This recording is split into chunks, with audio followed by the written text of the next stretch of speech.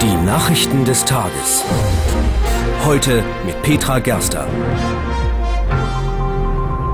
Guten Abend, meine Damen und Herren. Das sind die Themen von heute.